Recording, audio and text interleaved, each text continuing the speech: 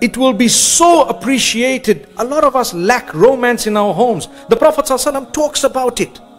You know, I've had people come to complain saying, you know what, we haven't been intimate in two years. And I'm like, gosh, man, you know, I wonder what's going on here.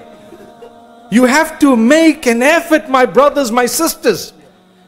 Do you know the Sahaba radiallahu anhum when they were told, fi budu'i ahadikum sadaqatan, to be intimate with your spouse is an act of worship and an act of charity.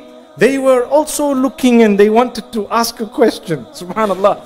They said, Oh Messenger, يأتي أحدنا شهوته ويكون له في ذلك أجر يعني you know you know you mean I'm going to just fulfill my sexual desire and I'm going to get a reward for it you know there was no embarrassment I'm I'm actually honored to be speaking in the house of Allah about what the messenger peace be upon him said he said hey if you were to put your organ in haram would you get a sin they said yes well, if you put it in halal, you'll get a big reward.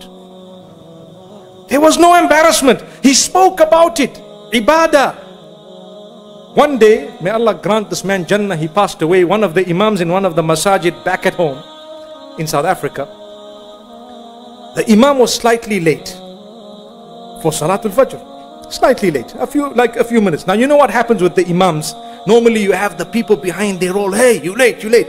He got up, he said, brothers, don't, don't pick on me. I was engaged in another act of worship. He says, I've come from ibadah to ibadah. It's a fact. And you know what? Those who understood knew what he was saying. They, and he said it. And nobody dared say a word. From that day, he was the hero of all the youngsters. They said, the man is old but is not cold. Allah grant us each.